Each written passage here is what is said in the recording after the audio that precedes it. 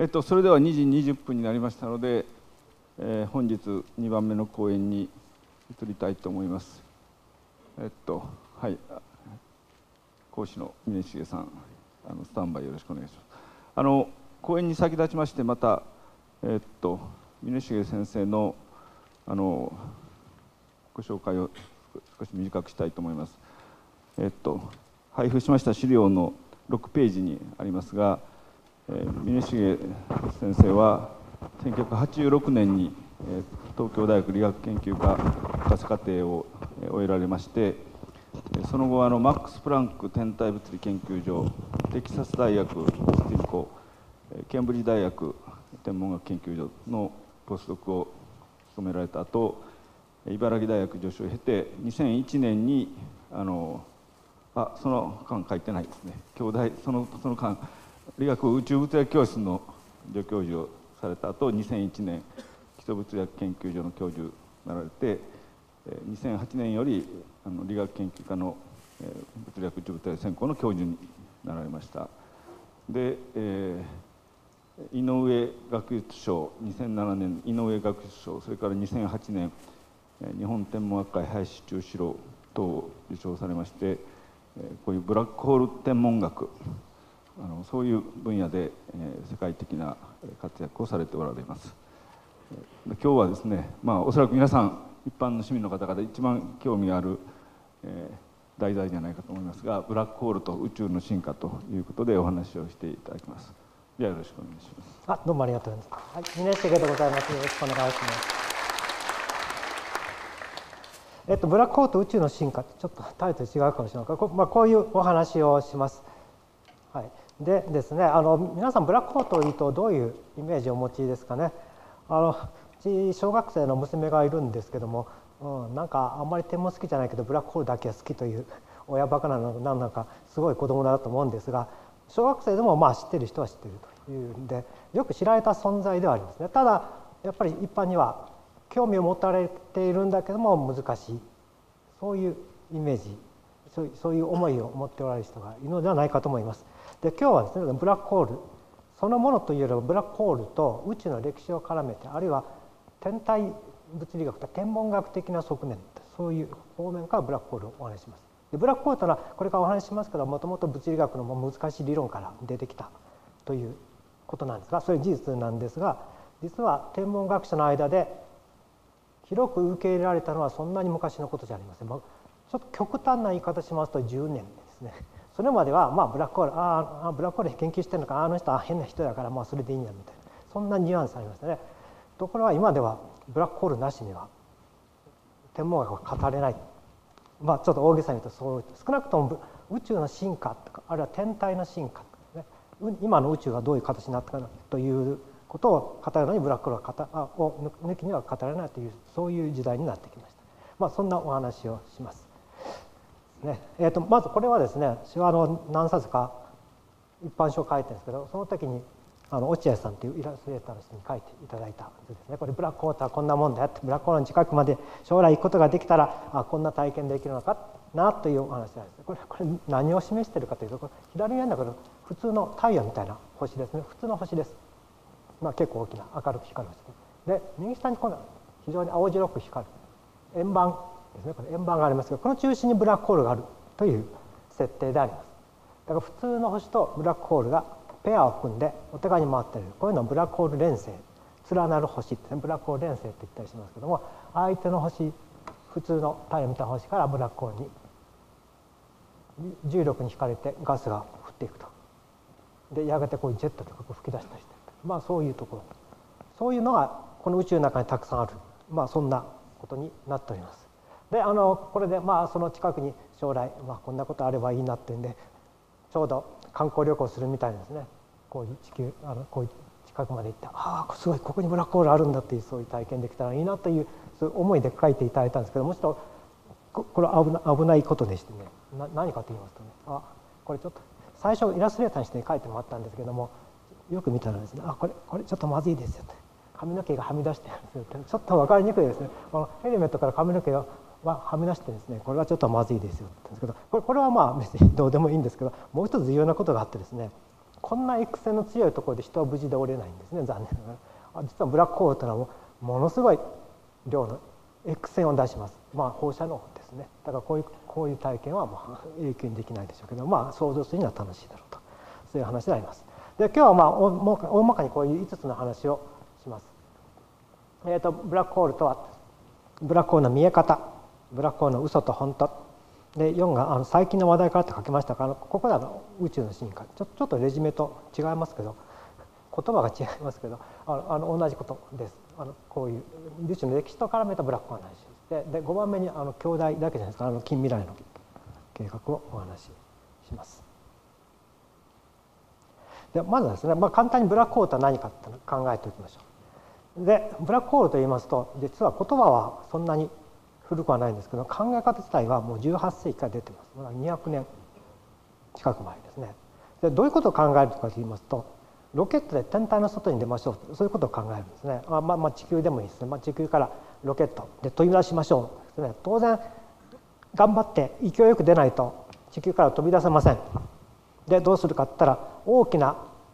速度が必要ですね。別の言い方すると大きな運動エネルギーが必要であります。で当然あの石ころを皆さん空向かって投げますね。投げても、まあ、力ある人は遠くまで行くんだけども石ころ人間で一生懸命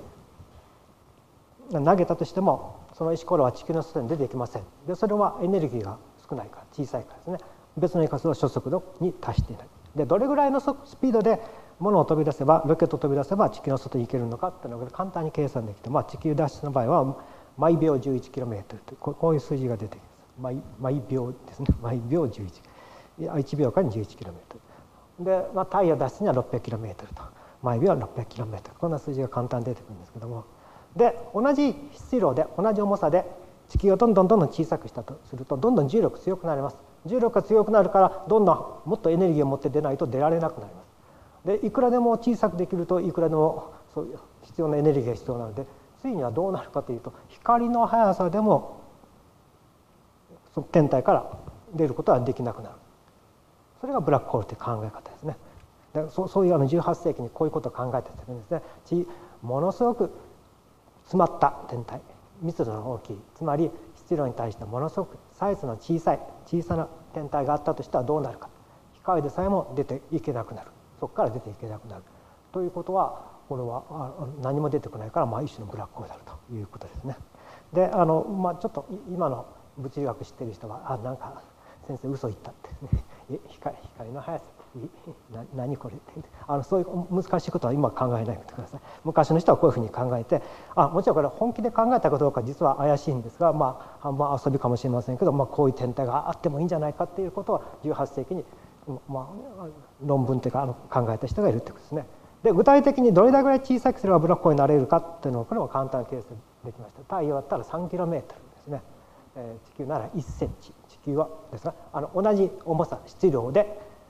地球なら1センチにうんとなんか縮めてあればブラックホールになるとそういう話ですそういう考え方がありました。でそれあこれ一気に飛んじゃうんですけど実はこの間にアンシュタインの理論があるんですけどもあんまりアンシュタインの理論の話すると難しいと言われそうなんで飛ばしましたけどまあこれで実は面白いのはさっき言ったこの18世紀の考え方なんですけどアンシュタインの理論を作っても同じ答えが出てくるんですね。ちょっと考え方は違うんですけど結論は同じなんですね地球だったら1センチに小さくしてやったらアンシュタインの理論を作ってもブラックホールになります。でですね。でそれであとどうするかですね。で大体のあの物理学者でも割割と理論に近い人ですねあのそれから天文学者もっとそうかもしれないですけどあななんか夢みたいなことを話して現実味がないとよく言われたりしますけどさっきの話は単にまあ頭の中での遊びみたいなことがあるわけですね。あの話としては面白いんだけど本当にあるんですかって言った時に「えー、本当になくてもいいじゃない」っていうこともあるし「いや本当にないんだったらどうでもいい」といろんな考え方あります。でそこで本当にこれブラックホールがあるのかっていう論争が実は昔から20世紀初めから延々と繰り返されました。で最初有名な論争、まあ、何人かの人が役者となって論争を繰り広げるんですけど一番、まあ、よく知られて有名なのはチャンドラ・セカール・ディントン論争と言われるんですね。でこれは白色矮星の上限質量というのは、まあ、ちょっと白色矮星は難しいから置いといて、まあ、ななんか知らない変な星があってどこまで重くなれるかってそういう議論がありました。でチャンドラ・セカールという人はこの人ノーベル賞を取られてしたんですけど実は二十歳でですねあのインドの出身で二十歳でえー、ケンブリッジ大学大学に入学するというので、まあ、船旅2か月ぐらい船旅でインドからイギリスのケンブリッジまで船旅している時に後世に残る論文を2つ書いたんですね。そのうちの一つがこれですね。その時言ったのはチャンドラセカールというのはこういう白色矮星ってまあ特殊な星があるんですけどそれの星の構造を調べた見たら計算したら上限質量があることを見つけました。上限質量というのはこれ以上重たくなれない限界質量ですね。でこれこうしたらどうなるかって言ったらもうずっと形を保っておれないので潰れます。潰れて潰れてブラックホールになるということを言ったわけですね。すなわちブラックホールというのは単に頭の中で考えたもんじゃなくてこういう理屈を考えたこういう白色矮星というこういう天体はまあ当時ほぼ知られてたんですけどその天体にこうこうこうこうやってとにかく重たくしてあればブラックホールできるんだっていう議論を始めてしました。でそれに対してですね留学先のそのエディントン大先生ですね。あのチャンデラ世からも二十歳そこそこですからまあ一回の学生ですよね。それに対してエディントン先生はもう当時もう世界を代表する天文学者の人はそんなことはない。そんなバカなことを防ぐ物理法則があるはずだという議論をしました。で当然、まあ、まあ入ったばかりの大学院生と学生と大教授と論争ですからこの論争にはならなかった。論争というほどではない。もう一方的にエディントン先生の価値みたいになったんですがただどうなったかというと、まあ、エディントン先生は半分正しかったですね。その当時中性子って知らなかった知られてなかったんですけど実は白色配線って潰れると中性子でいっぱい満たされた中性子性とこういうものになるというのが分かりました。だからエディントン先生全く間違ってたわけじゃありません。確かに白色媒質潰れてもいきなり中性性あいきなりブラックホールにならないということになったんだけども実はチャンドルセカールはもっと正しかったというのは中性性もやっぱり上限質量がある。これ以上重たくなれない質量があってそれこそブラックホールになるというふうに今では考えられています。でこれは現在の理解ですね。星の最後の姿。で普通星っていうのは星の間を漂う雲というか星間雲というか、まあ、これガスですね。ガスの塊からできるんですけど星ができてその後どうなるかというのは星の質量によって生き方が違います。最後どうなるかは違います。太陽みたいな星はどっちかというと割と軽めの星なんですけどそれは白色矮星というのは、まあ、まあこの小さな星になっておしまいというふうになるんですけど、まあ、この辺の方は、まあ、ちょっと専門家な専門的なので省略しますけども分かってるのは今分かってるのは太陽質量の、まあ、20倍程度、まあ、中性子星なんですが20倍を超えると。太陽の重さの20倍を超えたような星はいずれ超新星爆発というすごい大爆発をしてブラックホールになると。いうことがこれはもう多くの人に受け入れられています。だからこうやってブラックホールはできるんであると。だからブラックホールは絶対にあるはずであるという議論になって観測はここ10年でもう格段の進歩というともう多くの人がブラックホールは確かにあると、まあ、認めるようになったと。いう経緯があります。じゃああのこれはまあここまではまあ理論的な予言だったんですけど本当にブラックホールはどこにあるんですか？といった時にその研究ですね観測的研究というか観測として発見するその研究の最の宣弁付けられたのがもう今亡くなりますが小田先生日本人の方ですね小田先生という方です。で小田先生は当時まあよく知られていたあのあ、まあ、これはあのなかなか観測が難しかったんですね。それなぜかと言いますとブラックホールちゃんと見ようと思ったら実は普通の光でも光ってるんですけども普通の光じゃ普通の星の区別がつかないのでどうするかってね X 線観測しないといけないんですね。でこの白鳥座 X1 というのは最初のブラックホールなんですけど白鳥これ白鳥座はもうこれ星座の名前ですね。X というのはこれ X 線を出す星ですね。X 線線。1というのは一番明るい。一番最初に見つかった星ですね。白鳥座 X1 ですけど。だから X 線観測が可能になって初めて見つかった星ということになります。で X 線観測どうしたらいいかったら地上ではできません。で大体こんな X 線がバンバン地上に降り注いでこんな危ないものがどんどん降り注いでいったら我々は生きておれませんからだからまあ我々はその大気の層で X 線から守られているので逆に言うと観測 X 線観測は非常に地上ではできないとしにくいということになります。だからロケットとか人工衛星に望遠鏡なりその検出器を乗せて飛ばしていくということになります。でそれができたのは1960年代なんですその時からその当時からも小田先生はもう貢献されてるんですけども、まあ、そそう一緒に最初の、まあ、世界的な国際チームの中でも活躍しておいてまた日本の X 線天文学を日本のお家芸と言われるまでに育てられた先生ですその先生が初めて白鳥座 X1 ってここを欲しいこれはあまりあの厳密な証明じゃないんですけどもこれこういういろいろ波長 X1 のからの X 線をいろいろ調べてみるとこれはどうもブラックホールじゃないかということが最初に言われたということになります。でもちろん言うのは自由なんですけどあのちゃんと論文に書くっていうのは大事ですね。まあ、そういうことで具体的に、まあ、これこれこそ最初のブラックホールというところに小田先生と日本人が絡んでおられるということは、まあ、気をつしておきたいと思います。で今大まかに言ってブラックホールとして2種類知られてます。あ3種類という人もいるんですけど実は3種類目はまだはっきりしてないのでちょっとそれを置いといて2種類、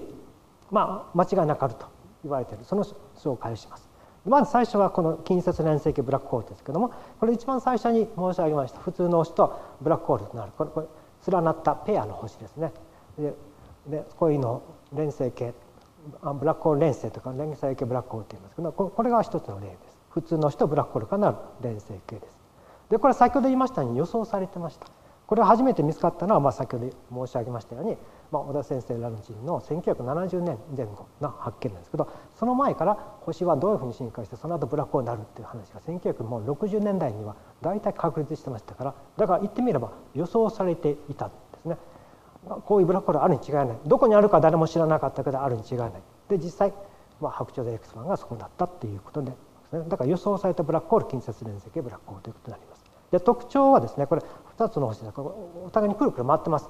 なんでくるくる回ってるのかってこれいろいろ説明は難しいんですけどはっきりしてるのはくるくる回ってなかったら2つくっついちゃうんですね。それ重力はお互いに引き合ってるんですからブラックホールはものすごい重力強いですから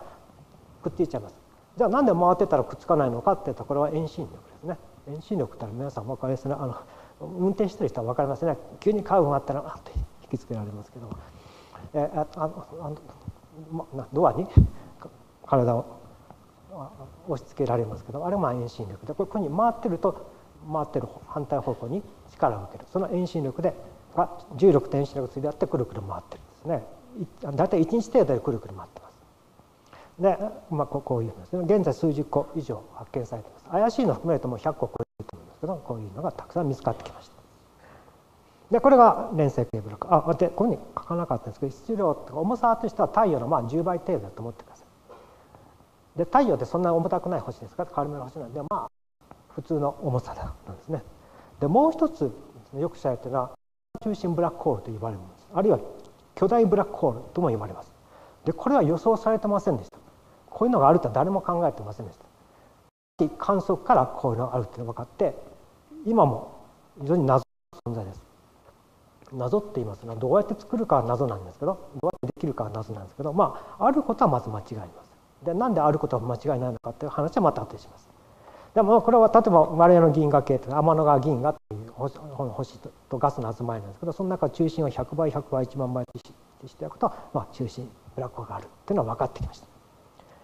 これははっきり書いてこれアンドロメダ銀河っていう我々のお隣さんの銀河っていうんです。けど割とはっきりした形にはっきりしてるんです。がこの中にもブラックホールがあるということが分かってきまし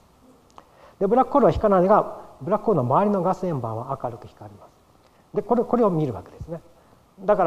らブラックホールの天文学ってブラックホールの観測するなんて今まで平気で言ってましたけどブラックホールって光さえ出てこないのになんで観測できるのかと思われたかもしれませんが実際見てるのはブラックホールそのものの光じゃなくてブラックホールの周りまさにブラックホールに落ち込もうとするガスが明るく光っているそれを我々は観測するということになります。でこの公園ではあブラックホールを観測するなんて平気で言いますけど正確には多くの場合はまずほとんどの場合はブラックホールの周りにあるガスからの光を観測しているのであります。とというですねだまあこういう2つのブラックホールがあります。じゃあ実際ブラックホールはどういうふうに見えるのかあるいは何でブラックホールだと結論したのかそこにブラックホール見えないはずなのに何で分かるのかというお話に進んでいきます。でブラックホールの見え方ですけどもまず特徴的なのはブラックホールの周りは非常な高温超高温だということです。ブラックホールの周りにはガスが降り積もうとする落ちていこうとするんですがそう落ち込もうとするガスはお互いに摩擦熱なんですけども温まってどれぐらい温まるかって1,000万度以上ですね1,000万度1億度10億度っていうもうとんでもない温度に熱せられます。でそんだけ高温に熱せられると X 線をどんどん出しますたくさんの X 線を出します。ということでブラックホールを見つけようと思ったら X 線観測が必要になります。でブラックホールは実は X 線だけじゃなくて電波とか可視光とかもいろいろ出してるんですけども普通の星は X 線はあまり強く出しませんだから X 線でまず見てやるとブラックホールがよく見える。ということになります。えっと、ここに挙げましたのは、えっと、近傍の銀河ですね。銀河の X 線画像っていうんですけどこうやってポあつぶつぶ光ってるのがありますけどこれはほとんどブラックホールだと言われています。これ正確にはこれ証明しないといけないんですけどまあこんだけ明るいのはブラックホールしかないだろうということでブラックホールだと言われています。典型的な明るさは太陽の10万倍の明るさです。10万倍ですね。太陽でさえもあ暑いですね。夏になるとあこんな太陽暑いのかと。嫌になるぐらい暑いですけどその10万倍暑かったら当然 我々は生きていけません。でしかもそこから出てくるのはほとんど X 線ですから10万倍強い X 線来たらもうもちろん我々は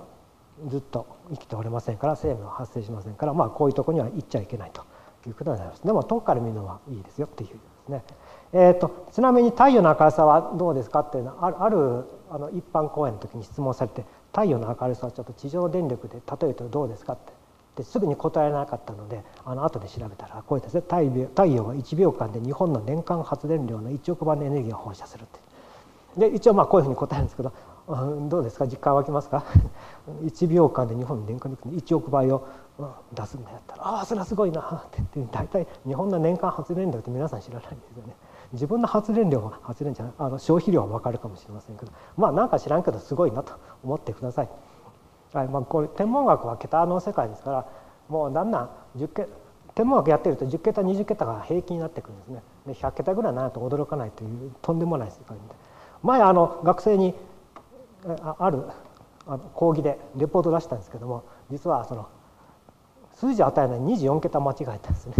ちょっとちょっとミス見つけたんですけどで半分の学生は先生24桁間違ってますよってあ24桁ってちょっと数え方が違うんですけど24桁間違ってるですですよって言って答え出したんですけども一部の学生は平気で24桁間違ってたっていう これこれは教育的な意味かって24桁ぐらい間違えた方がいいかなと後で思ったんですけどもうまあ まあもうそそういうこと平気でやってるのが天文学者であります。まああの10倍ぐらい気にしちゃいけないっていうのが天文学。100倍ぐらいからちょっと気にし始めああで余計なことたくさん言ったんですけどこれはあの赤外線で見たブラックホール点です。で先ほどちょっと言ったんですけど別にブラックホールは X 線だけ出しているのではありません。実はあらゆる波長の光いろんな光を出してます。ただ X 線は他の天体あまり出さないので X 線見るとよく分かるというだけですけどもあとで X 線とかであここにブラックホールがあると分かればあといろんな波長で見てやるとあなんこんな赤外線でも光ってんだ電波でも光ってるんだっていうの分かってきました。でこれはですね銀河中心と天の川の中心ですね。星座で言いますと伊手座って言うんですけど、まあ、ちょっと日本から南近いので見にくいとですけどそこから見たその伊手座っていうところに中心にある。だから天の川の中心にあるブラックホールですね。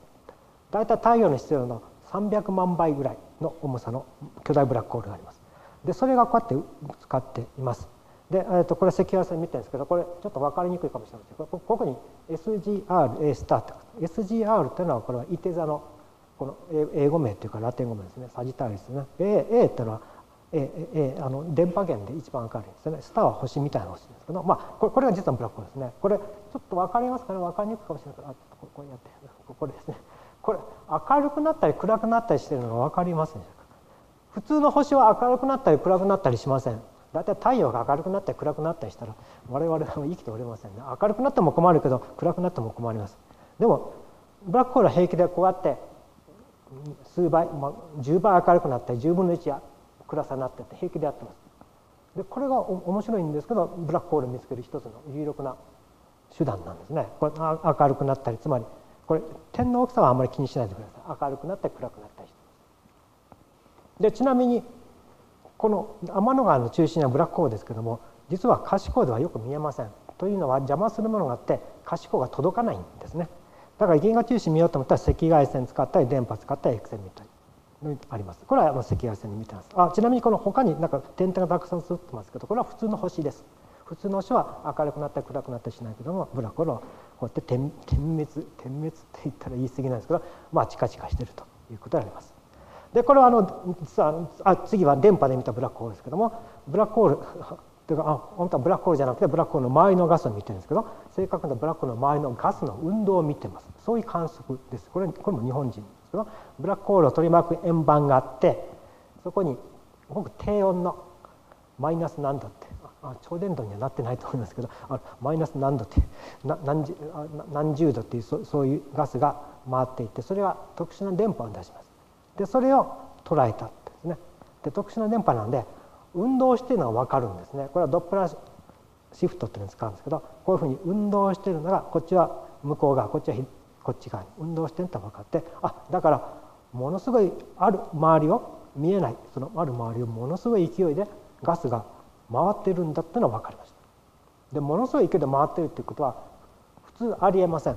なぜならばとうとう飛んでいっちゃうからですねこんなある一手の周りを回ることありません。なんである一手の周りをずっと回り続けるのかっていったらここにものすごく強い重力を及ぼすものがあるからですね。でも見えない見えないからこれはブラックホールだっていうんでこれは実はあのあこれは出てないかな。はい、あのこれはあの一番現在ですね一番有力な巨大ブラックホールの証拠だと言われてます。これはあの三好さんってあのあの三好さんだけじゃないですか日本のグループがしたあの巨大ブラックホール確かに存在する一番確かな証拠こういうとこにものすごい強い重力圏があってそれは見えないからブラックホールであるということですね。でこうやって実はブラックホールの質量を測ることができます。ブラックホールどう重さっていうのは見えないものをどうやって測るのかって思うかもしれませんが実はこの周りのガスの運動から見るんですね。またその話は後でします。あですねあこれここに出てきました。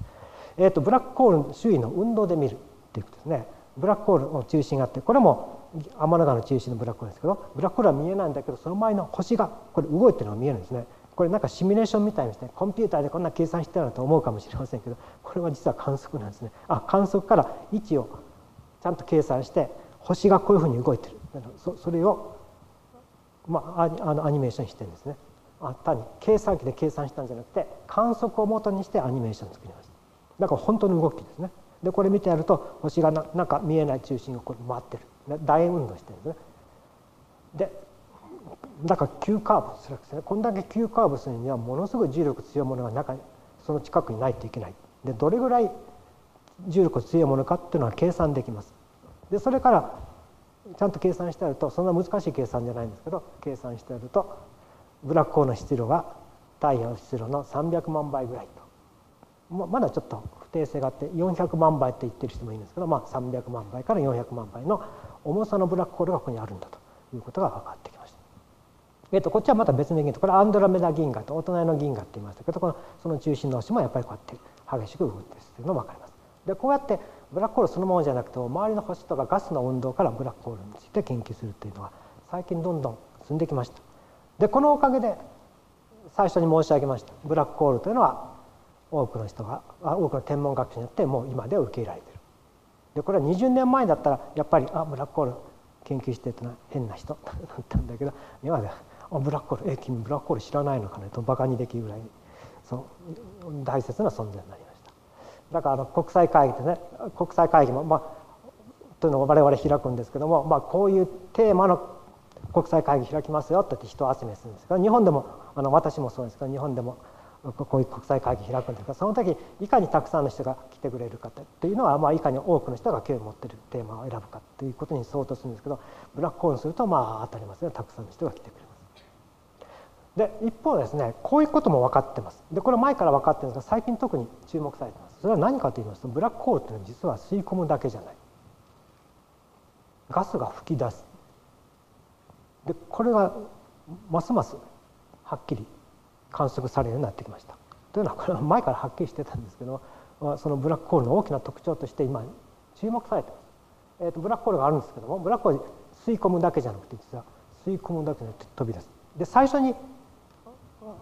落合さんたちが描かれたイラスト見せましたけども円盤があって円盤の上下方向にガスが飛び出しているのが書いてもらいましたけどどうもブラックホールは吸い込むだけじゃなくてその一部ですけど、まあ、1割ぐらいのガスを激しい勢いで吹き出させることもできる。というのはますます確かになっているこれは実は非常に大事なことです。何が大事かというと吸い込むだけだったら困っちゃうんですね。困っちゃうっていうのはあ別に変な人なんですね。あのでしょ？あの皆さん友達で授業しても吸い込むだけ吸い込むだけって何かあの人の邪魔をして自分の言うことばっかりわーっとしてそういう人で嫌われるでしょ？でそうじゃなくてお互い思いやり合ってあそういう時にはこうなったら慰めたそういう人がいると雰囲気が和やかになるということがあるんですがだから今までブラックホールというのはもう悪者だったんですね。もう嫌なこと言うというかもう何でも吸い込んじゃった。人に全部吸い込んじゃって場がしらけるっていう そういう存在だったのが実はそうじゃなくていいこともたくさんしてる。あの悪いこともしてるんですけど悪いことはあの物吸い込んでなくなっちゃうんだから悪いこともたくさんしてるんだけどいいこともたくさんしてるって そういうふうに思われかけています。でこれは宇宙の進化を考えると非常に重要なんですね。だからこそ今多くの天文学者がブラックホールに注目しているということになります。あこれはこうやって飛び出しているというですねそういう写真です。で実はですねこれ飛び出していると昔から知られてるんですね。これはあのハッブルスペーステレスコープとハッブル望遠鏡ってなんだ人工衛星に望遠鏡を積んでそれで大気の外に出て宇宙に行って観測しているそういう望遠鏡の観測なんですけどそれは実は昔から地上の望遠鏡でもう20世紀の初めからこういう筋が浮かったんですね。それ何かよく分かったんですけどそれはブラックホールからまさに高速で飛び出るガスの流れっていうのが分かってきました。高速ってどれぐらいかって言ったら光の速さぐらいですね。日本語はややこしくて高速ってあの速さが速いということと光の速さがどっちも高速なんでワープロでちゃんと区別する時によく間違えるんですけどもまさにこの宇宙ジェットというのは速い速度であってかつ光の速度ほとんど光の速度です。光の速度の99%とかそんなんで出ています。でちょっとここちょっと難しいかもしれませんけど、まあ、ちょっとこれぐらいの話はしておこうということでブラックホールはなぜ光るって話をしておきます。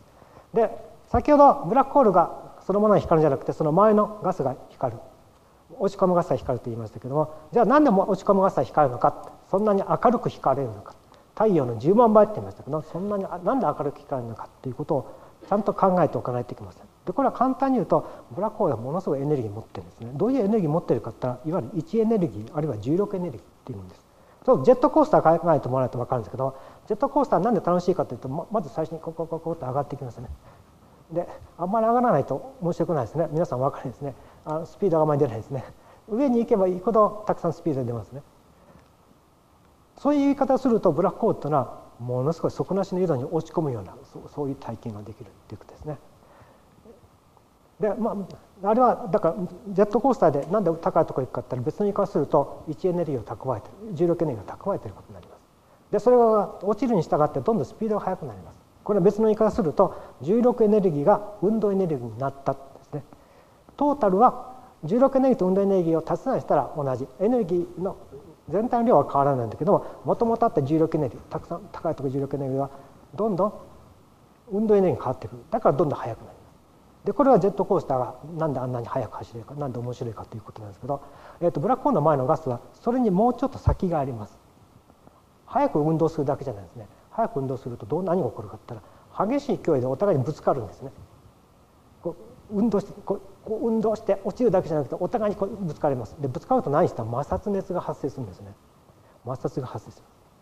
するとそれは熱になります。だからどんどん高温なんですね。落ちるガスはお互いにぶつかってどんどん熱くなります。で1000万度から1億度10億度になります。でそんだけ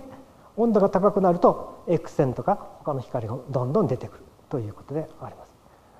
だからブラックホールっていうのはものを引きつけてできつけることによってそのものからものすごい量のエネルギー光のエネルギーを出させるということであります。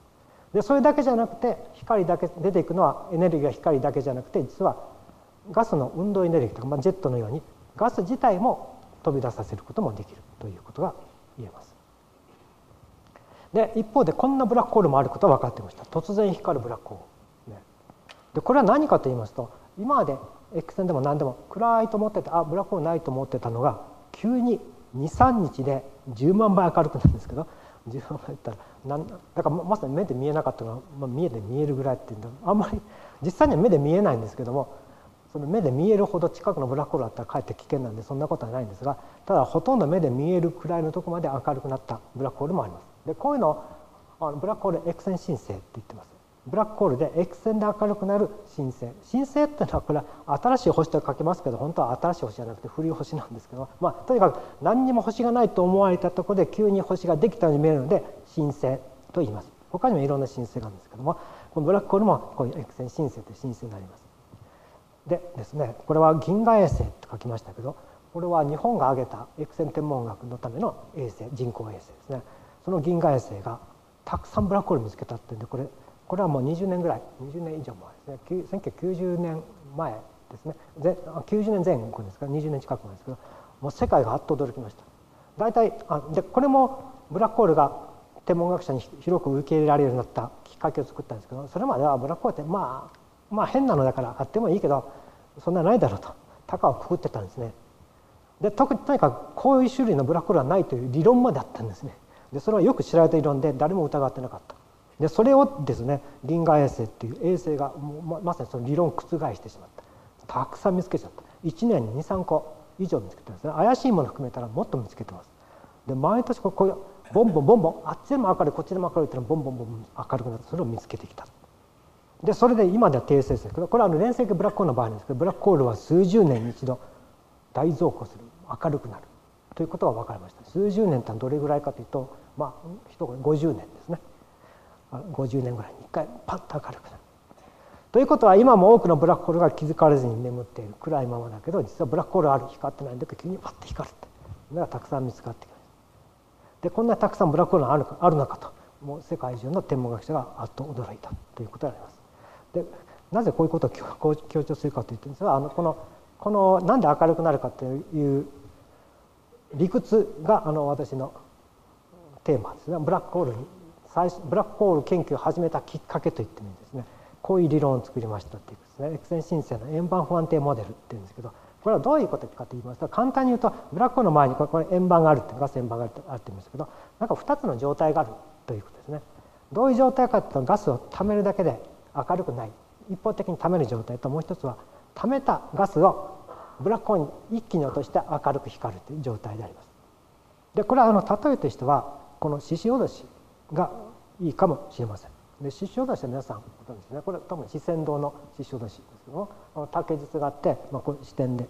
止めておいて水をちょろちょろ上から入れるんですね。ちょろちょろちょろちょろっと入れます。でずっと単にちょろちょろ水が入っているだけであります。でところが竹筒の中に水がほとんどいっぱいになるとバランスが崩れてひっくり返るんですね。竹筒がひっくり返って中にあった水を一気に吐き出す。それでまた元に戻るで元に戻る時にカウントとかして獅子ってあのライオンじゃなくて鹿ですね が逃げていくという部分ですけどこういう理屈でありますでこういうことと同じことがブラックホールの前でも起こっているという理論ですね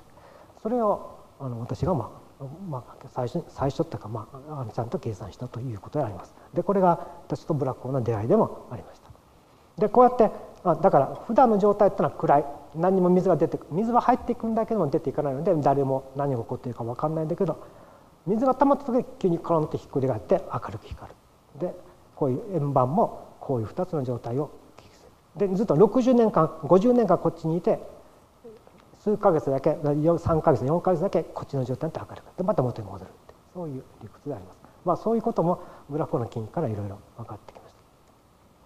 た。で一方ですね、まあ、こういうふうに50年に1回明るく光るブラックホールもあるんですけどもブラックホールから光をよく見てみると先ほど点滅しているというような形しました。明るくなったり暗くなったりしてこれは非常にブラックホールの大きな特徴であります。ブラックホールからの光の大きな特徴であります。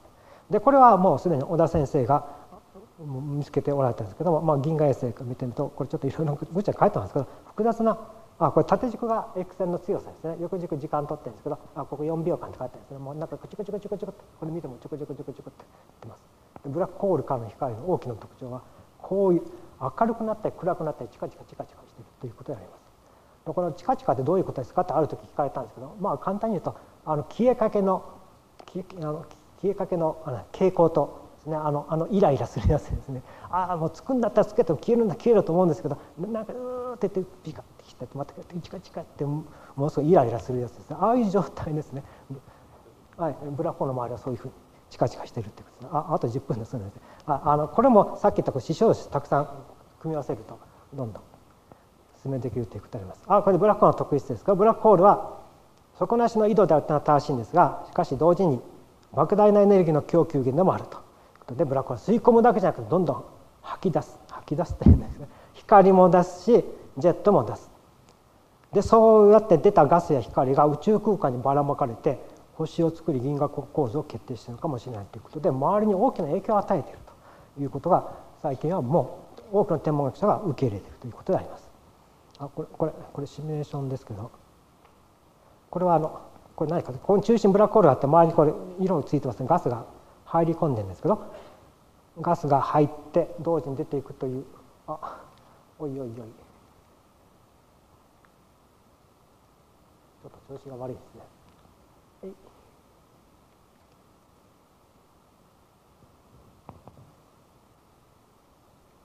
はいあここから入っていってここから出ていくというこういうシミュレーション我々のグループでやってるシミュレーションであります。ああんまりやってると時間がなくなっちゃうんですけどああとブラックホールの嘘と本当って。ブラックホール本当に真っ黒って。本当は真っ黒かもしれないって実はちょっと光ってた話がありました。これホーキング放射って話なんですけどまあ難しいので省略。ただはっきり言って宇宙最初にもし一山程度の10の12キログラムのブラックホールが光ったとしたら今頃ガンマ線出してなくなってる。なくなってこれを蒸発と言いますけどそういうのがあるかもしれない。見つければノーベル賞間違いないですね。ブラックホールに押し込むとどうなるかって。ブラックホールってのはまあ体験したいかどうか別にしてブラックホール落ち込むとどうなるかって実は普通のブラックホールの場合は落ち込む前にもう人間は意識なくなります。なんでかったらブラックホールってものすごく重力が強いので足から落ちていくと足からかかる重力のが頭の重力で引き伸ばされちゃうんですね。どれぐらいの力で引き伸ばされるんだかったら地球の重力 G として1万倍いるです。だからもう意識なくなって残念ながらダメです。ダメだけど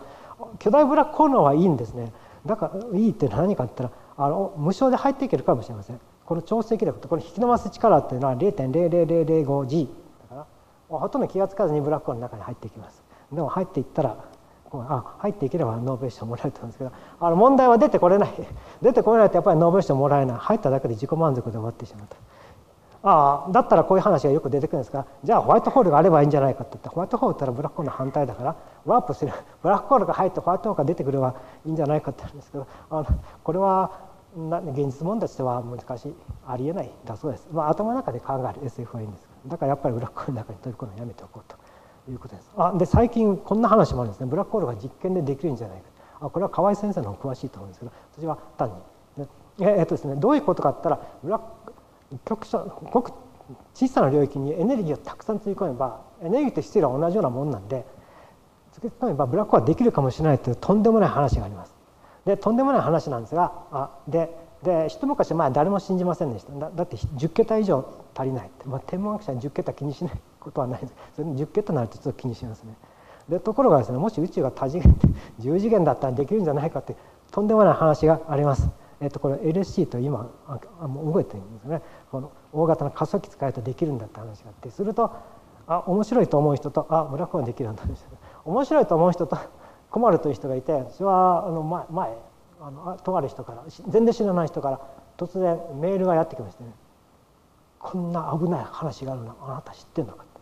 ブラックホールができたら世の中消滅じゃないか。なんであなたは黙ってるんだっていうお叱りのメールを来ましたで自分は英語しゃべれないからあなたは代わりに抗議しなさいって言うんですけどでやっぱ同じように考えてる人がたくさんいるみたいでででこの NSC はだからどうするかどうしたかと言いますとノーベル賞学者をたくさん集めて大丈夫できてもあこれホーキング放射です。ぐなくなるから大丈夫ですよっていう声明を出したそうです。まあ信じてるかどうかは分かりませんけどとりあえずこれでいきます。まあ専門家多分あんまり信じてないんですね。でもあれば大発見だということだと思います。あでどんどんもうほとんど時間ですね。はい。でようやく宇宙の進化に行くんですけど宇宙の進化の話は何が面白いかというと結局まだよく分かってないんですけどブラックホールどうやって作るのかって。あの前本でブラックホールの作り方と書いたらなんか料理するみたいですねって言われてややっぱりこれは作られ方じゃないんですかって言ったんですけどまあそれはどうでしょう。あの普通の連星系のブラックホールは簡単にできます。超新星爆発できると言いました。まあそれで問題は大きな質の巨大ブラックホールはどうやって作るのって。これはまだ分かってません。でこれはあのリース先生とケンブリッジ大学の私もお世話になったんですけどまあ簡単に言うと大きな天体いきなり作って何かしなきゃ大きな天体作って一気に潰せば巨大ブラックホールになるあるいはブラックホールの塊をブラックホールの集団をたくさん作ってあとでブラックホール同士をくっつけばいいじゃないかってですね正だとか というその2つの考え方ありますけどどっちも今のところうまくいってません。でもうお手上げであります。だからブラックホールは巨大ブラックホールがあることは分かってんのにどうやって作っていいか分か分かんない。ただはっきりしてるのはブラックホールやっぱり吸い込みますから吐き出すといったってそれを吐き出すのは吸い込んだガスの1割程度だからもうほとんどは吸い込みますね。だからブラックホール一旦できるとどんどん吸い込んで周りにガスがある周りに星がある限りはどんどん吸い込んで太ることができる。でまあこれはやっぱり重要なものですね。だからブラックホールというのは宇宙年齢130年かかってどんどん太っていったということが分かってます。で実際あの観測どんどん進んできましたから過去にどんなブラックホールがあったかというのもだんだん進んできました。これはあの上田さんというのはこれは兄弟の我々のグループの方なんですけどその方の大発見というのはブラックホールというのは大きなものから先にできたって大発見しました。これちょっとこれ横軸に時間でブラックホールが最盛期というのは今から110億年ぐらい前なんですけどこれまあ大きなもの正確に言うと明るいブラックホールなんですけどがまず最初にできた後暗いものがどんどんできてきたっていうことが分かりましたでこれは非常に不思議なんですね。ブラックホール大きなものができたって。ああそうなのかと思うかもしれませんけどこれは常識に反してます。常識というのは何かっていうのは世の中の構造は小さなものができたっていうのは常識なんですね、えー、とこれをボトムアップシナリオって言うんですけど銀河とかは小さなものができた。で実際昔の銀河見るとこれチリチリバラバラじゃないかと形しっかりしてないかと小さなものが集まってできたと。で今の銀河できたっていうのは今の構造できたっていうのは世の中の世の中っていうか天文学者の常識なんですけどもこれこの上田さんのは逆で一見一見ですよ明るいブラックホール大きなブラックホールが先にできたように見える不思議な不思議だということでこれも今の研究の対象になってます。えー、でまあ最近まずそういう話題にすると銀河とブラックホールは一緒に進化してきたんじゃないかということも分かってきました。もうそろそろ時間ですね。であとちょっとあと3分。宇宙の運命ちょっと書いて宇宙はどうなる最後どうなるかってダークエネルギーの働きによってこの辺の話はおそらく次の 今井先生がお話しされると思うので、えーと、省略して今宇宙は膨張してます。でどんどんどん膨張します。で分かってるのは永遠に膨張するだと分かってるんですけどその後どうなるのかっていうとまあ隣我の銀河系とアンドロメダ銀河が衝突するんですがであといろんなこと起きます。いろんなこと起きて全部すると100兆後100兆年後に全ての星が燃え尽きると言われていて独裁とブラックホールがあで最後に全部ブラックホールに飲み込まれてそのブラックホールがなくなっちゃうということがあ10の100乗年ぐらいかかると10の1の値に0を100個なるとその年ぐらいかかるとブラックホールが蒸発するホーキング放射でブラックホールであとこんななるとあいつまでも存在するなんかこんなことが言われてます。でちょっとこの辺ももう時間がなくなったのでこの辺省略してまああのこういう京都大学の観測とかも進んでますけども。えー、さっさっさともう、はい、こういう話もあるんですけどもし質問が出たら言います。でまとめですからブラックホール天文学の時代今までブラックホールというのは、うん、あの変わった人が変なことを考えたのがそんなこと言ってる天文学のもう中心課題になりました。ブラックホールを抜きにした天文学がされるブラックホール天文学の時代ということであります。観測が進んでその存在は確実されています。さまざまな現象が見えてきます。でここで強調したいのはブラックホールというのはちょっと構造を破壊するもものを送ってもう全部潰しちゃうもんだと思ったらそうじゃなくて銀河形成とも絡めて宇宙の構造を作るのに何らかの大きな貢献しているってことははっきりし始めました。でブラックホールも無視しちゃいけないということになります。ブラックホールも無視しちゃいけないって。で我々が言ってるのはブラックホール研究者も無視無視するなっていうかあ変人扱いするなっていうことを言いたいんですけどあ最後にあのこういう本も書きましたのでもしよろしかったらご覧くださいということです。どうもご清聴ありがとうございました。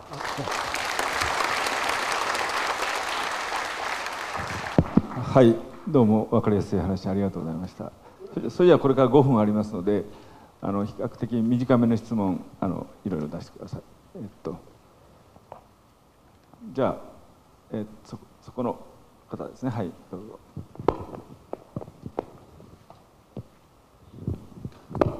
すいません。あの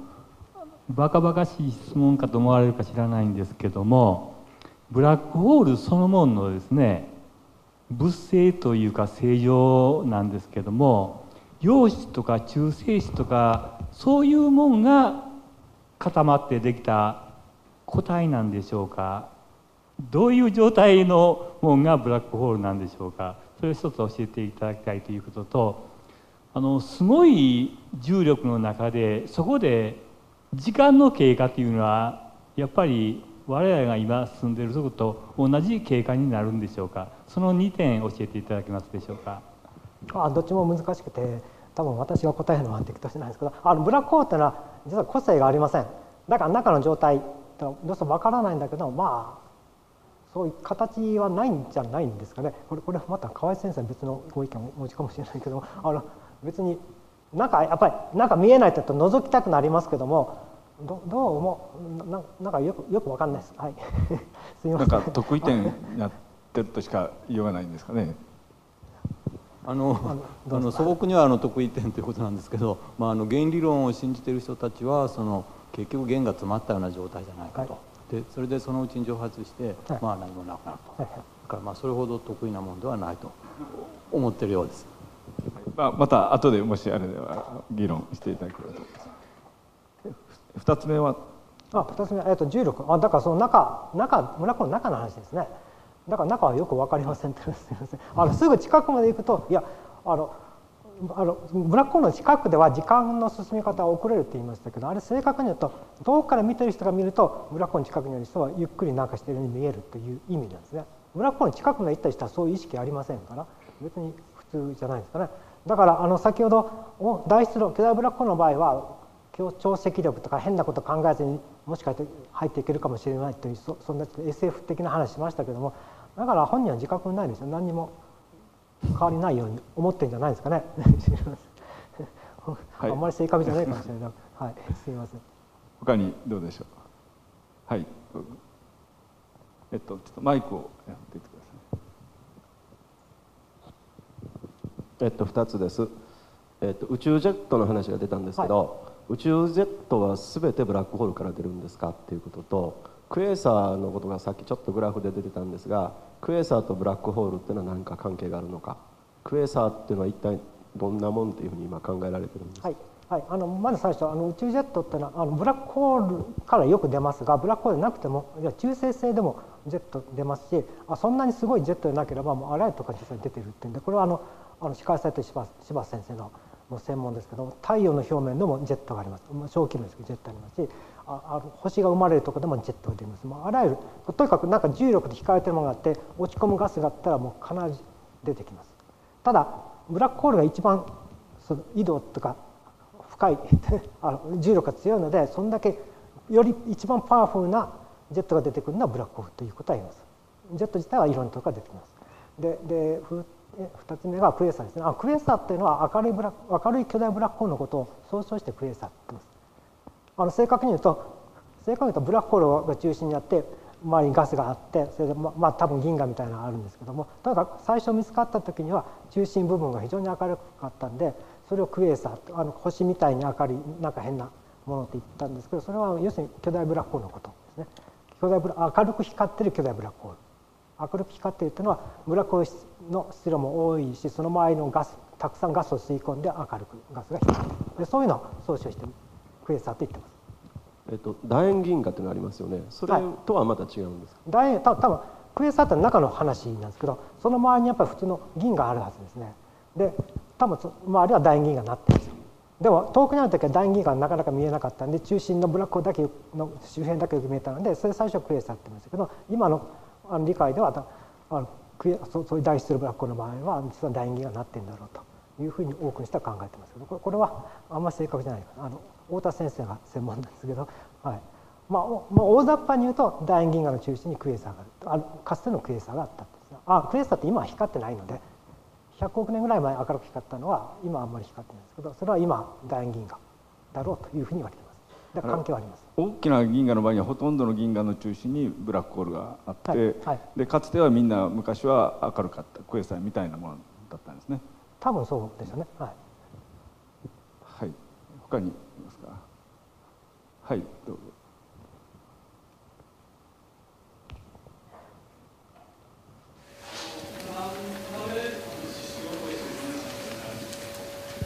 あそれは難しいので。うん うんうんなぜ？獅子落としがどうしてできるかはいいですか？いやそそれは全然簡単じゃないですね。あの全部省略しました。はい。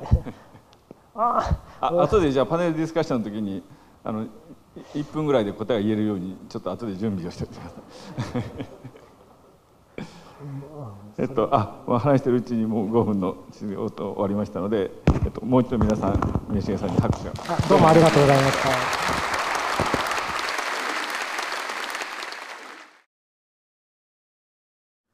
はいそれでは4時半になりましたので、えー、パネルディスカッションを始めたいと思います。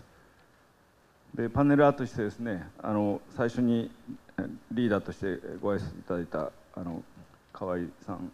それからあの講演していただいた川上さん峰重さん今井さん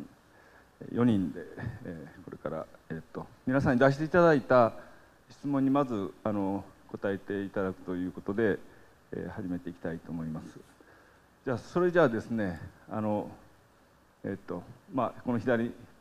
からあの順次まず河合さんからえあのちょっと問題質問をざっと読み上げてでそれに、えーまあ、簡潔に答えていただくということでお願いします。えーと、まずあの宇宙の果ては何かというご質問が来てますでこれはあの、まあ、僕だけが答えていいのかあの峰重先生にも それであのもちろんあの実証的な意味では何も分かっていないということですけれどもただその今我々その宇宙を記述するその基本的なその宇宙を表すアインシュタイン方程式、まあ、そういう方程式を持ってるわけですけど、まあ、その方程式にその特にその果てでその変なことが起きていないということを仮定しますとあの2通りの可能性があります。で一つはその宇宙がその無限に広がっているでもう一つはその宇宙が例えばその地球の表面みたいに閉じているとでそれはあの今のところそのどちらかは分からないと、まあ、そういうことになっていると思いますただあの実験的にはとにかくあの我々が見えているところ以外はその原理的には何が起こっててもおかしくないということだと思います。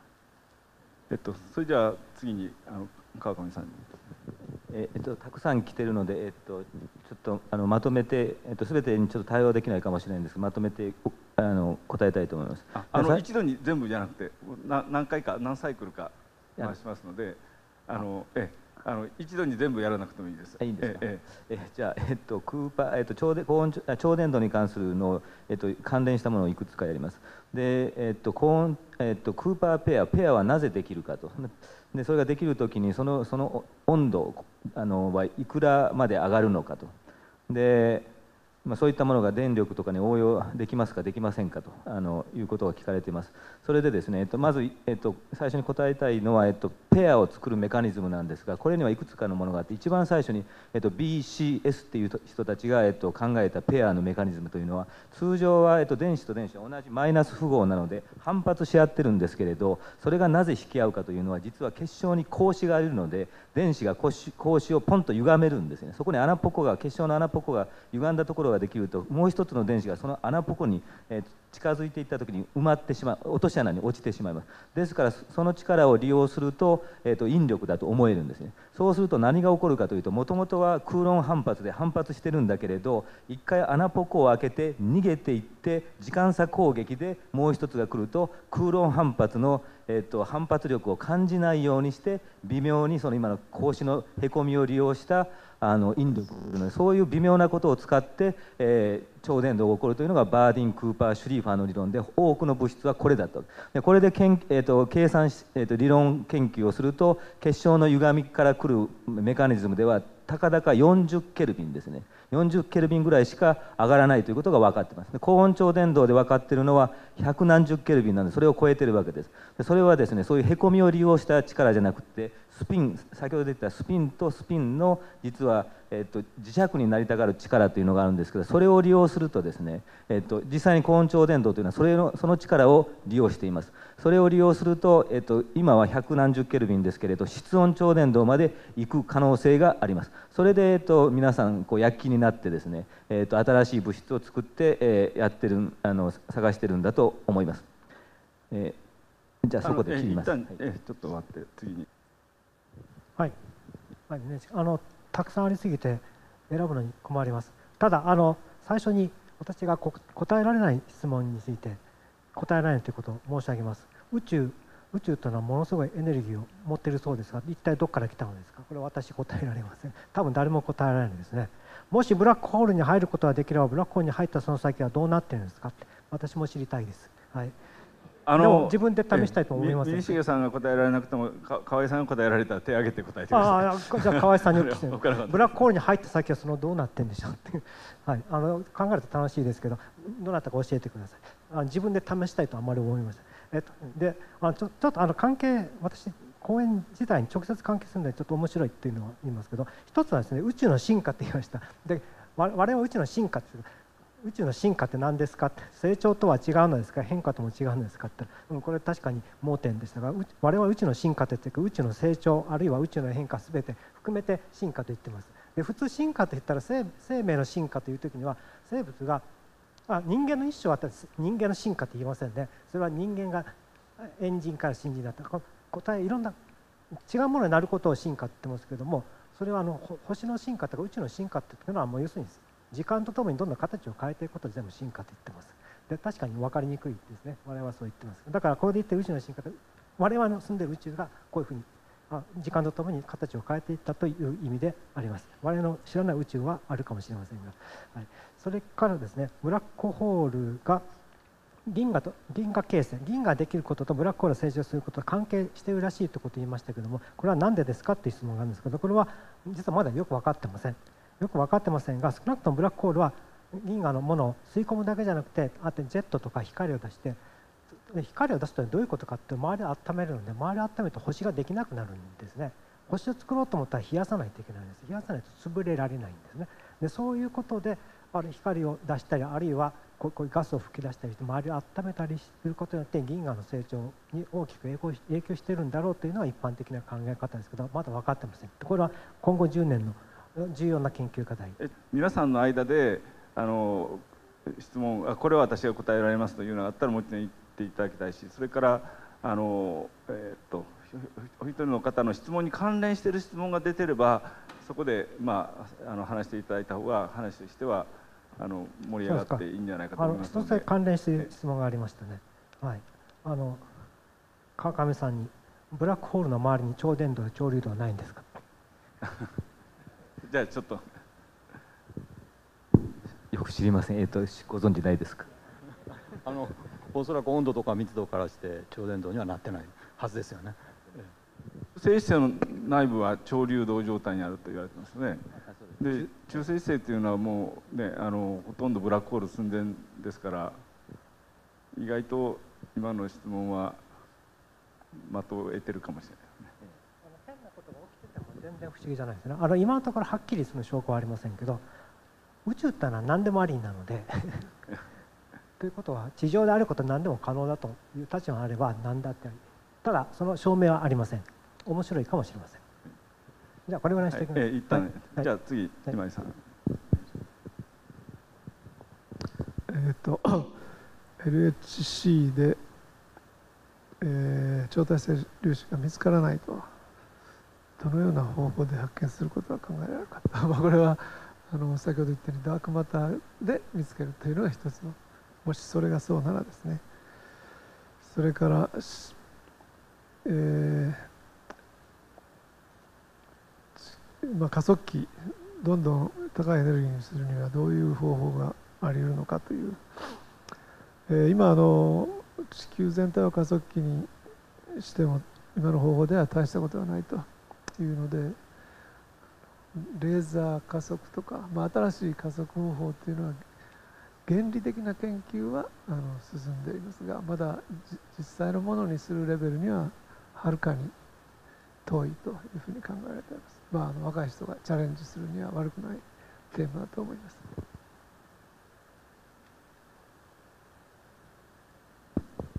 アクション検視の実験研究を進めどれくらいの研究予算が必要か 私も聞こうと思った。あの装置自身は数億円をかけて作ってるもんですけれど、まあ、今後はあのランニングコストなのでそんなに莫大な金がかかるわけではない。最近のあのダークマター研究棟でしたっけ、えー、それ全全体実験装置入れていくらぐらいかかったんであのあれ立派そうに見えますけどプレハブなんで。で地下室は昔あった地下室を再利用してますのでその上にこう建物を建てた。多分2 3 0 0 0万ぐらいでできた建物だと2 3 0万、えあ実験装置もそんなものなんです実験装置はすうん4、5億がかかってると思えいますね。4、5億？えああそれは結構かですね。場所は京大の校内にあるんですか？えあの馬場のすぐそばあに、農学部の、ええいやいやあの低温センター、ああああそこに、まあ、昔はあの宇治の方でやってたんですけど松松木先生っていう方が中心になってやってたんですけど、えーまあ、定年退官されたので低温センターにも持ってきて進めてます。あまあ、低温あの液体ヘリウムの供給があ非常に便利なところなので。あの機会ありましたらぜひ見学させていただければ えっとじゃああのもう1ラウンドかあと2ラウンドか3ラウンドぐらいはできるかと思いますがえっとじゃあまた河合先生まだありますか？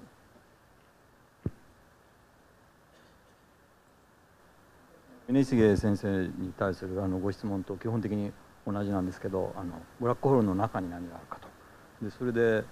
あのそれからさっきあの原理論の立場からということを言ったのでその原だとするとどういうものがあるかというご質問がありました。でそれであの峰重先生もちろんあの分かっておられてそれであの答えられなかったんですけれどもあのアインシュタイン方程式をそのまま信じるとするとブラックホールの中に入っていくとあのいわゆる特異点にぶつかっちゃいます。でそれでそのアインシュタイン方程式はもうそれ以上使えない。ですからそのアインシュタイン方程式に頼る限りその先は何も言えないという。でそういう意味であの分からないとおっしゃったんだと思います。でただあの最近のその原理論のまあここ10年ぐらいの流行ですとあのブラックホールというのはもう原理論の枠組みで記述すればその得意点はないだろうと。で実際にその弦弦をこのいっぱい持ってきましてでそれでそちょっと離れてみるとブラックホールみたいに見えると。でそれでブラックホールのエントロピーっていうのが、まあ、重要な概念なんですけどそれもその弦の状態数を数えることによって再現できていると、まあ、そういう、まあ、ごく特別なあの場合なんですけど、まあ、そういうことができてますのであのおそらくその原理論をそのまあ、信じている、まあ、原理論を信じている素粒子者というのはおそらくあの半分ぐらいの人は信じていると思うんですけどあのその立場からするとそのブラックホールといってもあの基本的にその物質とあまり変わらないと。ただ非常にこの詰まってます詰まっててでしかもあの寿命が長い。でそれでそのそのブラックホールが崩壊する、まあ、それが蒸発なわけですけどその時間が非常に長い。あの非常に安定な。だけどあの絶対的に安定ではないような、まあ、そういうもんだろうというふうに考えてます。いちょっと私質問いいですか？あの裸の特異点を持つブラックホールがあるっていう数学の解としてね例えば飛松佐藤会なんていうのはね三十数年前発見されてあのすごい有名になりましたけどもあれはあのブラックホールの事象の地平線の外側に特異点ができて でものすごい困るとでそこで物理学が破綻するからそのそんなものは宇宙に存在してはいけないということでなんか排除されると。まあ、そういうのが世の中のねあの意見だと思うんですけどもしその原理論でそういう得意点は本当は得意点じゃなくてあっていいんだというなったらその裸の得意点に対応するような構造がブラックホールの外側にねできるということはあり得るという話。まあ、そういうものはあり得るけれどもおそらく非常に短命であの要するに普通のブラックホールみたいに、ええ。あの古典的に見た場合、えその安定に見えるとそういうことはないだろうと。蒸発ええ。一気にしてし情報がまう、えが非常に早いんだろうと。そういうことだと思います。えでも天文学的にはあるかもしれないですね。すごいその回転の速い星があの崩壊してね重力崩壊してでし瞬間的にそういうあの原理論でできるような構造が蒸発するような場所ができたらそれは観測される可能性あるわけですね。ええ。ただおそらく原理論のそのタイムスケールですから、えっ、と、えーど光がはい10のマイナス33乗メートルいくぐらいの時間とかものすごいあ そうか。短い時間。もものすごい短時間の時間分解の観測ができるようになったらそんながピカッと光が見えるかもしれないと。でもすごい面白い。夢がある話まだですね。原理論そこまで、ええ。あの議論できるまであのできてませんのであ。ただあの、まあ、で分かっていることを手がかりに、ええ。まあ、あの予想しているだけ。あはいどうもありがとうございました。はいじゃあ次川上さんどうぞ。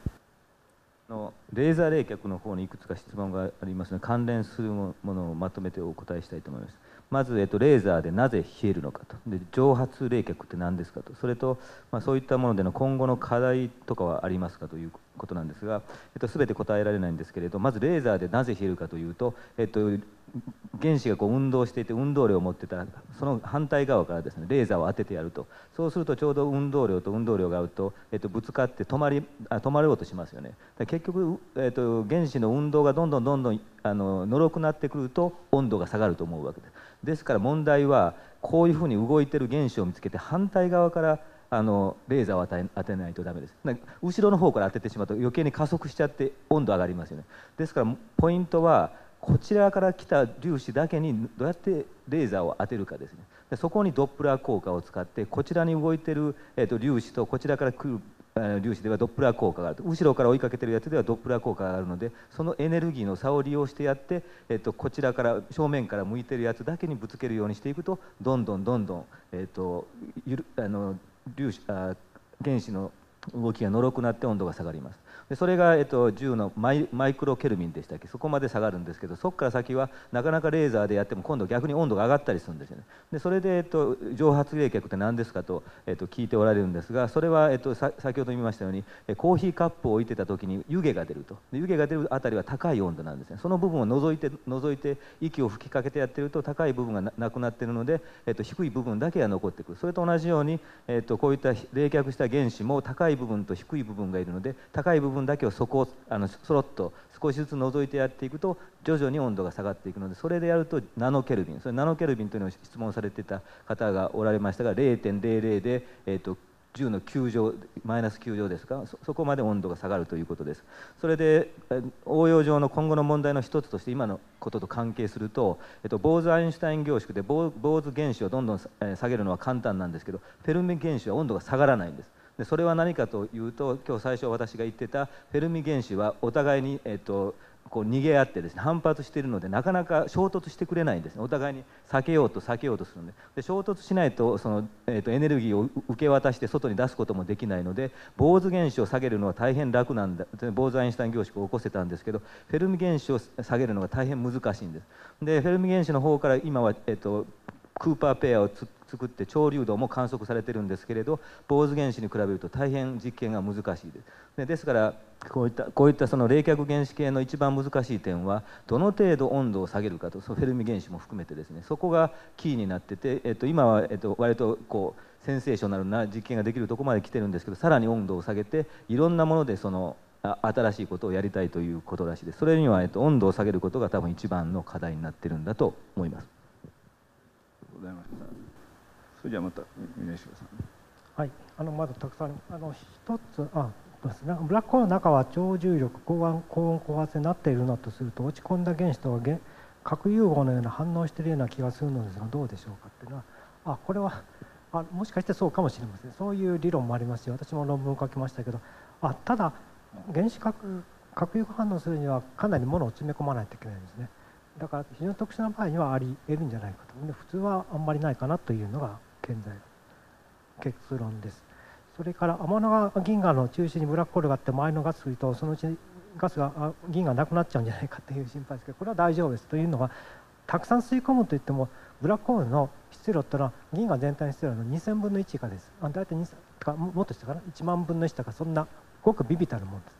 こんなビビたるもんだけどもそんだけ吸い込んでも銀河全体の明るく光るっていうのはこれすごいブラックホールのすごいパワフルなところなんですね。だからいくら吸い込むってちょっと大げさな言い方しましたけども銀河が細るとか銀河見かけが合うとかそんなことはありません。そんだけなくても明るく光るっていうのは銀あのブラックホールの不思議なところです。それともう一つはあです。あの私の講演の最後に質問出たと関係するんですけどこれあの円盤不安定モデルでたまるタイミングと押し込むタイミングどこで何が変わるんですかって言ったらこれは簡単に言うと水素の状態が変わって水素温度が溜まってる時には温度が低いのであんまり摩擦が効かないので温度が低くて中性状態になった分子状態中性状態ですね。だから電子と陽子がくっついた状態になっているのがある程度物が溜まると温度が高くなってきて電離するんですね。電離すると状態が変わって一気に落ちるという。これがあのそのトリガーであります。はいはい。どうもありがとうございました。それじゃあえ今井先生。えー、っと 暗黒物質が存在しないという前提での検討は京都大学はしてないのですかっていうのは、えー、考えるのは理由自由なんですけど特にそういう方向で研究しておられる方は、まあ、いらっしゃらないと思います。で反物質が関係しているという考え方はないのでしょうか。反物質はどうなったのでしょうかと、えー、宇宙の最初には物質反物質はほぼ同じだということになっているわけですがえー、今の宇宙を見ると汎用子とか今測定をしていますけれども、まあ、反物質がたくさんあるということにはなっていないようであると。でどうしてそうなのかというのがその一つの理由が CP 対称性の破れというのがないとこういうふうにはなっていないということでそれだけでは十分条件ではないんですけどで、まあ、暗黒物質とはあんまり関係があるのかないのかちょっと分かりませんね。それからえーと、W マップの背景放射の揺らぎは正しいかと。宇宙の質量が変化しているとかそういうことはないかという。であのダークマターのそれからダークマターが空間そのものの歪みであるという考え方はできないかと。であのダークマターっていうのがないとするのを説明するやっぱり重力がこれ効いてるわけなのでで重力の理論っていうのはよく分かっているようでいまだに素粒子論では 重力が最大の問題なんですね。だからその辺で何かあのすごいことが出てくるのかもしれませんね。ダークマターっていうのがないという回として関係があるのかもしれません。で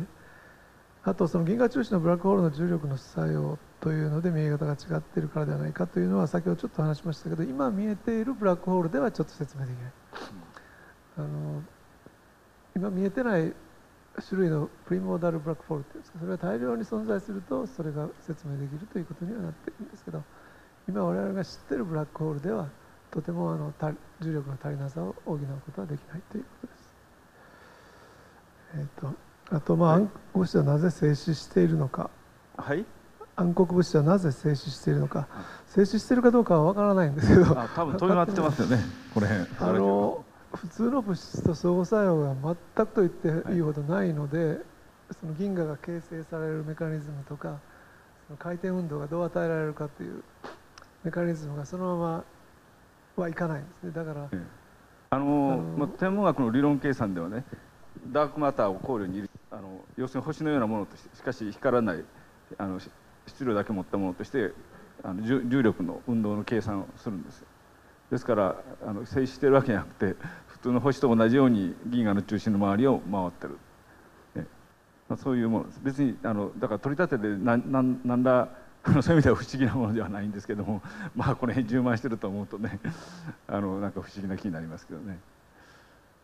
はい。えっ、ー、とはい。はい。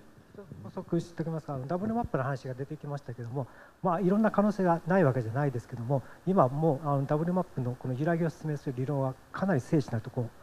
ろ正確なレベルでもう観測観測と理論計算が一致してますからそう並大抵の、まあ、素人の思いつきってしてるんですけど並大抵のことじゃもう破ることはできませんもうかなりそれを高度なレベルに積み重ね上げられた理論が複数の理論が一致してますから。そんな簡単に破れる話ではありません。でもちろんアインシュタイン方程式に沿ってますからアインシュタイン間違っていると言い始めたらそれは何だってそその可能性はあるわけですよね。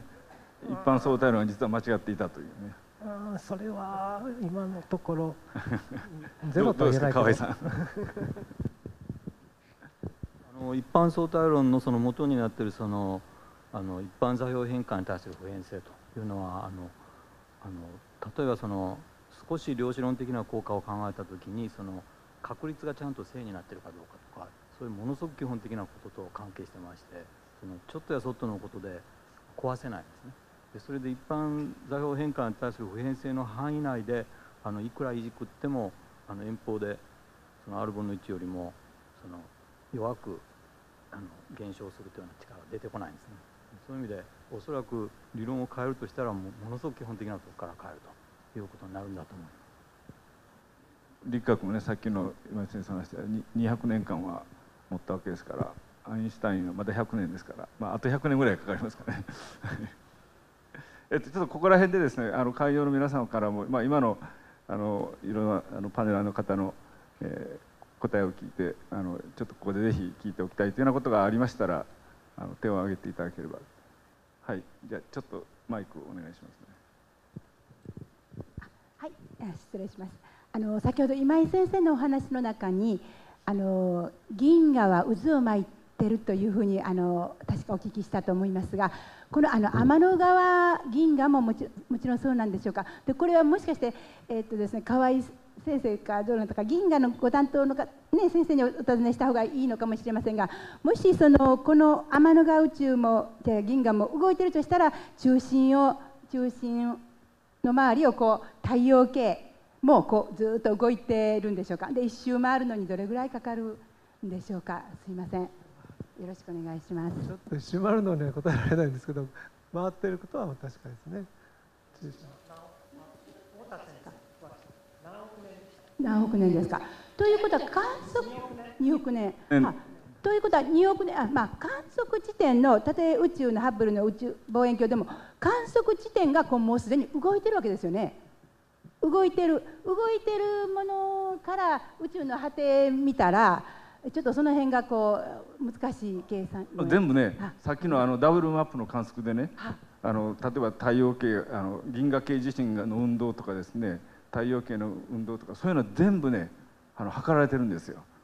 ええ、でそれをその、ええ、そういう動いたやつをさっぴいた結果あマップを作ったああいうふうな綺麗な、はい、そうですか、はい。まあ、にあそうですか。すごい精密なことが分かってるんですね。ね二百億年からね、えー、そその分引いてちゃんと引いて。そうです。あそうですか、はい、いやもう本当ありがとうございます、そしてもう一つダークマターっていうとなんかね色が黒いように思うんですけどね。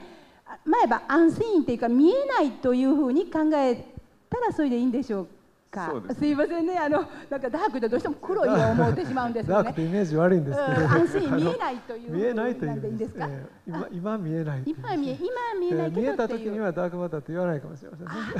ダークエネルギーはなんかもうわからないという意味で、もう何でもダークをつけたらいいよみたいな、もうスターウォーズの影響を受けすぎなんですね。あ、未知未知のという意味でダーク。あ、ありがとうございます。あ、はい、もう一度ご質問どうぞ。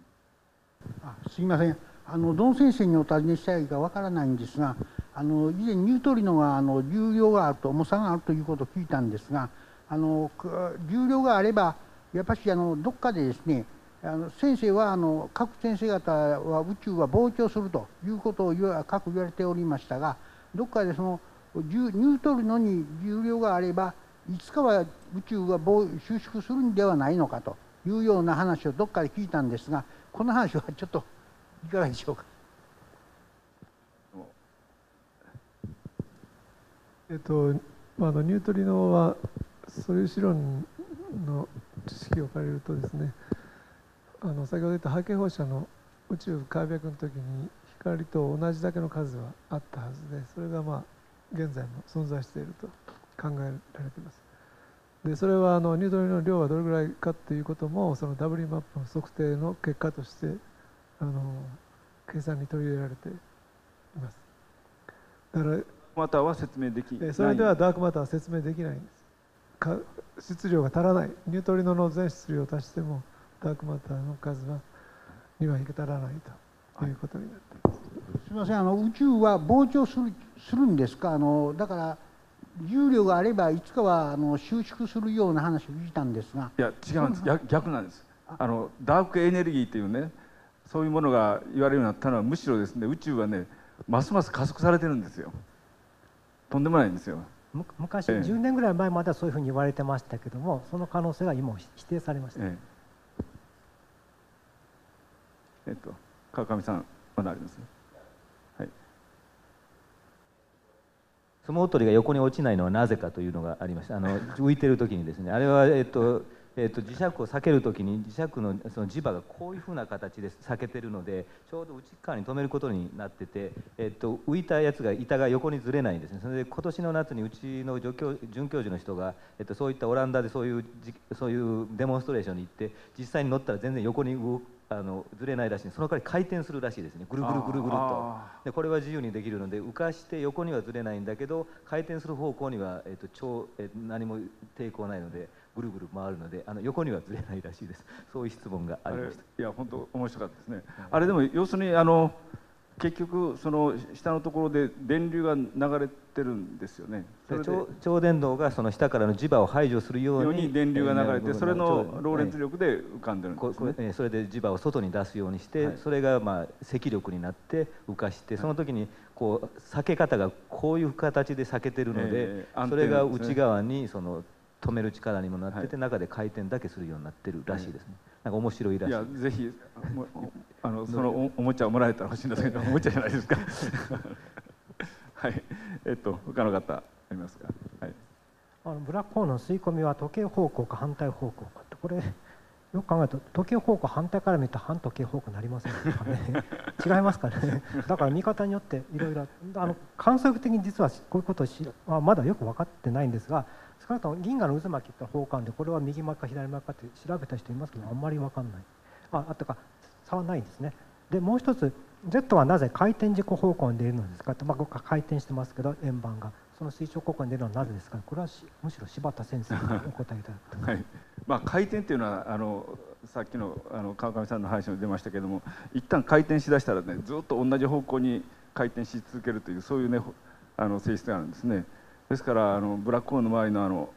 膠着円盤っていうのがこう回るんですけど、まあ、ブラックホール自身も回ってる可能性あるんですけどね。で一旦もう方向性がね決まってしまうとずっとその方向を見てまして。でその方向にあのまあこれは私の理論なんですけどもあの磁場がですね そこに絡んでると磁力線がこうねじられて磁力線がこう螺旋状になるんですね。それが回転軸方向に、まあ、それでジェットの方向が回転軸に平行にできると、まあ、そういうふうに考えてるんですけどまあとにかく回転のあのその方向性っていうのはあの天文学宇宙の中では非常に重要な方向になってますね。はい、えっとあのまだあるかもしれませんがあのもう時間が過ぎましたのであの皆さんいっぱい質問出していただきまして本当ありがとうございました。じゃ講師の先生方もどうもありがとうございました。